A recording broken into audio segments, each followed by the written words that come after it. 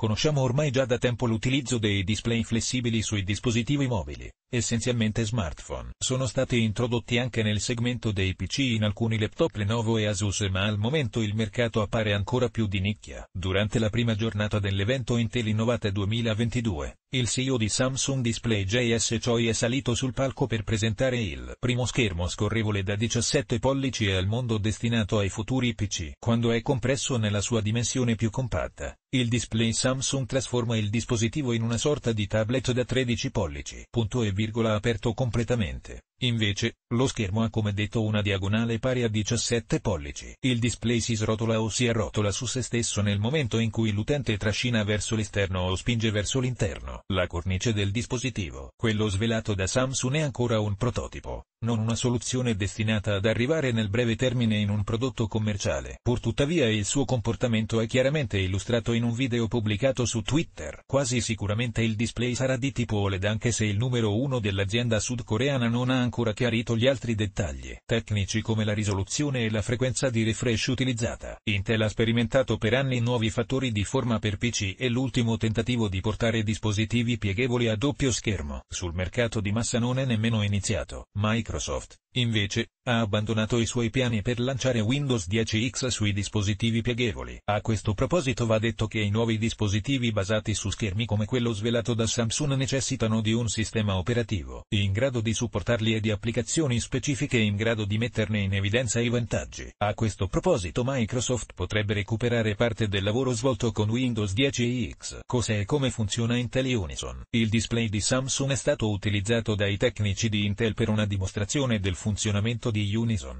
una soluzione software che vuole semplificare il trasferimento di dati tra PC Windows e dispositivi Android e iOS. Intel racconta che basta un clic per inviare un file da Windows ad Android o iOS e viceversa, accedere alla messaggistica, gestire da PC le chiamate su smartphone. Microsoft propone in Windows l'app collegamento al telefono Android ma essa funziona al momento solo con i dispositivi del robottino verde e non tutte le funzionalità sono disponibili per tutti gli utenti. Si pensi al mirroring. Intel Unison vuole invece essere una soluzione a tutto tondo, la prima all'infuori dell'offerta Apple, a consentire l'utilizzo diretto di un iPhone con Windows. Al momento si sa che Unison debutterà sui PC portatili Intel Evo basati su processore di dodicesima e tredicesima generazione. Della partita sono i partner storici di Intel quali Acer, HP e Lenovo. Non è però dato sapere se Unison sarà attivabile e utilizzabile anche sui PC più vecchi.